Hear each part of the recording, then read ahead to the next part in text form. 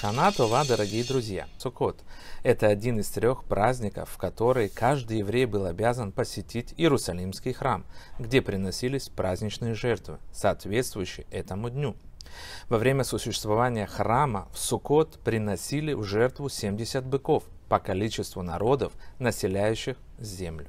Целью этих жертвоприношений было искупление грехов всего человечества. Дорогие друзья, если мы внимательно присмотримся к этому празднику, то мы увидим, что он особенный праздник. И он приходит, так сказать, очень внезапно. Вот, например, на подготовку к празднику Пейсах у нас предостаточно времени. Примерно за месяц до начала мы начинаем изучать законы, связанные с Пейсахом.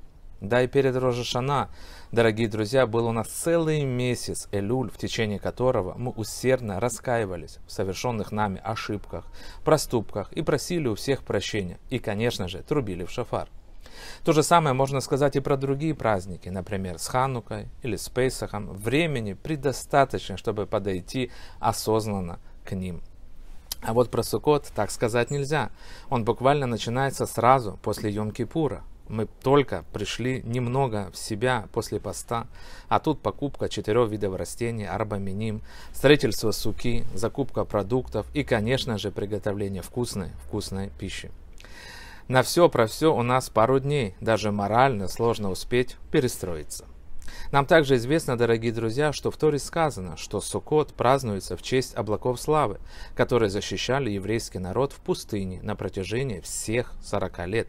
Если здесь речь идет о таком большом периоде времени, в течение которого каждый день и каждую ночь мы были под чудесной защитой Всевышнего, то почему же праздник приходится именно на эти дни? И почему настолько близко к Йом-Кипуру?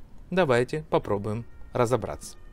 В книге Береши, дорогие друзья, рассказывается о нашей праматери Рахель которая после долгих лет страдания и молитв наконец-то родила сына и назвала его Юсеф, что означает «добавит». Юсеф Ашем ли Бенахер. Всевышний добавит мне еще одного сына.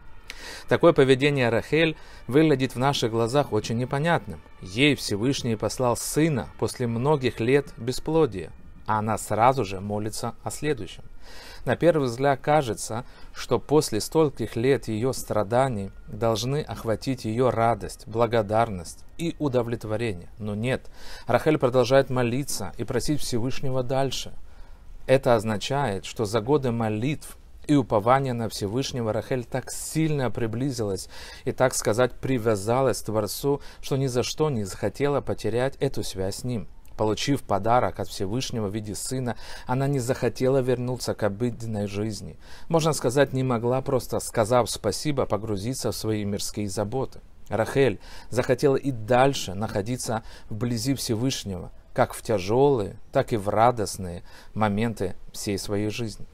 Пример Рахель, дорогие друзья, помогает нам понять связь между праздником Рожа Шана, Йом-Кипуром и праздником Суккот.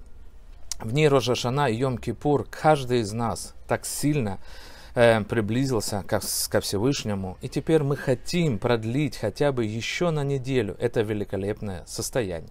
Поэтому праздник Суккот наступает незамедлительно, чтобы дать нам возможность продлить нашу связь и близость с Творцом. Это происходит в атмосфере любви и тепла, испытывая чувство безопасности от того, что находимся под крышей суки в непосредственной охране Всевышнего. Дорогие друзья, в дни праздника Суккот, времени нашей радости, желаю вам всем насладиться благословлением, которое мы получаем с небес.